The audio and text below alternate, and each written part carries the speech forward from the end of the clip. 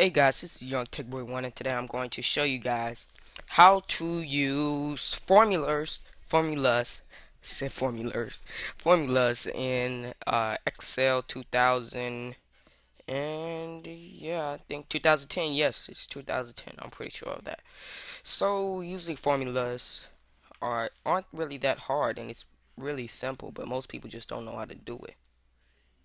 So pretty much what it is is uh, you you could just choose from like any amount. So like here's like something like right up over here is something that a whole bunch of people use. So hold on, you just like uh of course you haven't really used any if you just playing around with this, but uh right here is like most like the I guess the basic functions instead of going through all this. But let me just show you how they work. So it's real easy. So I'm gonna do a sum, and I'm the old-fashioned way, so I like to type it in myself. When you once you put in that equal sign and then that's the capital letter or sum, you can see that you won't that you won't be able to do anything else. Oops, sum, and then uh, this so you know what? Let me just do it like this. So P and X T O T. So here we go. I found something that was let's say twenty dollars, and tax is a dollar and eighty nine cents. Well, I'm gonna do something more realistic. More realistic. Nineteen eighty nine in taxes a dollar 89 and you want to find the total. And you're just too lazy to try and calculate up. This is good if you have like a whole bunch of big numbers. So what you would want to do is go up over the formulas formulas and go up over to I guess auto sum or you could go up over the math and scroll all the way down. I mean it's set the same way. I see where sum is right there. And then just drag this over to the side. Here we go. And click on the first one, B5. And then the next one for me, I think would be C5. Yep. And then there you go. And it could change, so like uh yeah, so that's the sum right there. Put sum. Then the next one I'm gonna use a I'm just going to do like go down the list to show you guys. Average. Pretty much adding everything up. A G E. So uh,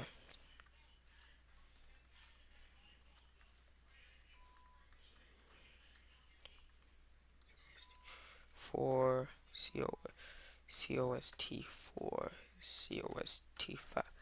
So I have I guess five costs and one is twenty dollars, one is two dollars. No, one is ten dollars, one is five dollars, a dollar, and a hundred. And then, so to do average, like I'm the old-fashioned way. But if you don't know it, you really want to just go through here and use it. But since I'm the old-fashioned way, I'm gonna just type it in. But for you guys, I guess I'll just do average. Just click on it and what it's saying right now when you have when you see that little sign it means from B8 all the way down through there. But when you just wanted to do a single one you just put type in a comment. It'll just as you see just select those two. But when you have it when you have it with a semicolon it means throughout. So yes that is what I want. Enter. So the average is 27 assuming that it's dollars, twenty-seven dollars and two cents. Not two cents, but twenty cent. Next one. Uh, count numbers. You really won't need that. Max. What this does is it just says the maximum that you can have. So maximum of five, pretty much. You really won't have any use for that. I'm just saying. But let me just show you guys how to do it. and how to type it out the old way. When you get like real good at this, if you get real good at this and you use power, if you if you use spreadsheets a lot, you want to be familiar with this. So sums S U M. So I'm gonna do a sum again. So if I have 500, I'm just just typing in random numbers. This way y'all know I'm not doing this up in my head. Okay. So, and I want to know the total up here.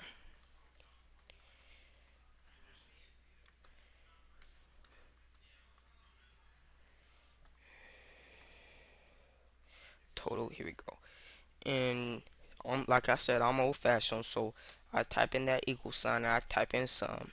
So what you want to do is once you type in that equal sign, then it knows it's a function. So equal sign sum S U M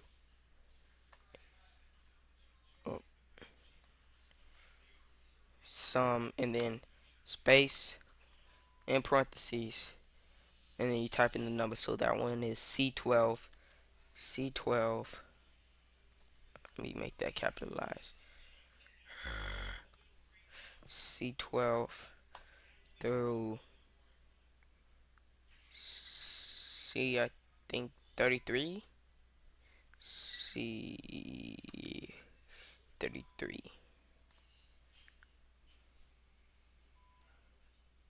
so there it is. That's the total.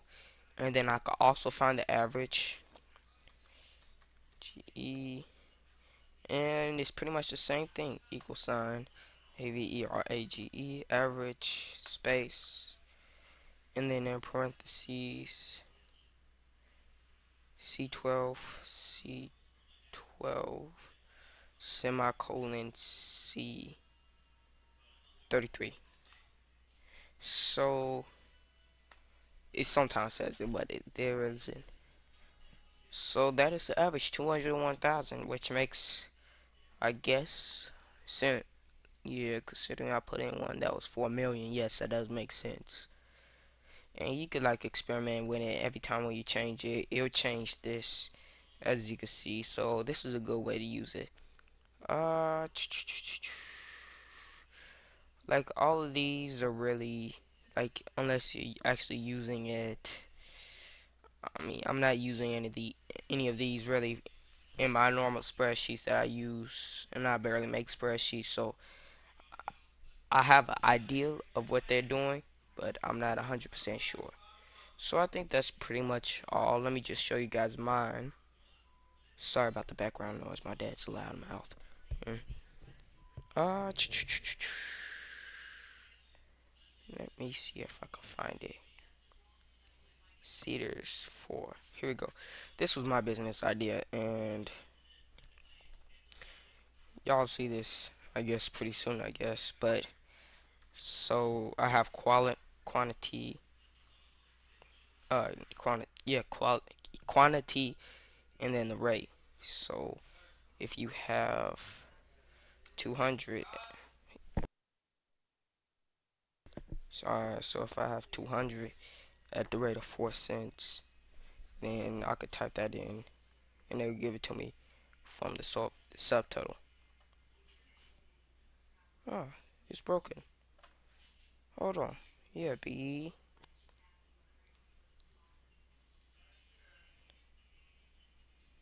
It says product of times that times that 25.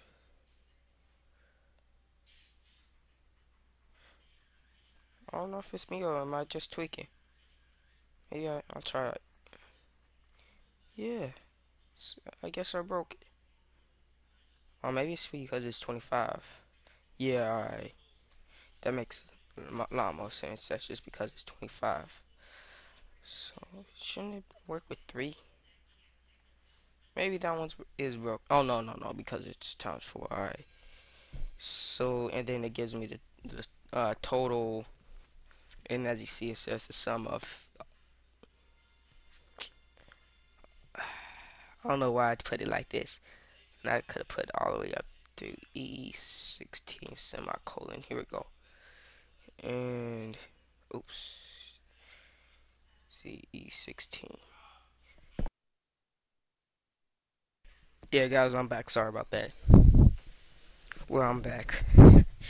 So, like I said, uh, it gets the total price and gets them there and from here. Then I had the grand total, but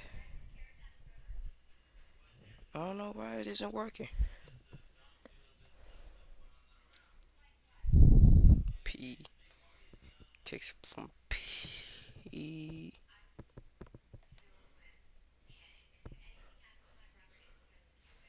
Oh well, you know I ain't even worrying about that right now. But yes, you, you I, I think you guys get my point. What I mean about uh the functions formulas formulas. Sorry. So it's pretty easy once you learn to do it. Uh, I hope this video helped you out with whatever you're doing or just informed you. It's good to learn something new every day. Please like, please subscribe, and uh, yeah, have a nice day.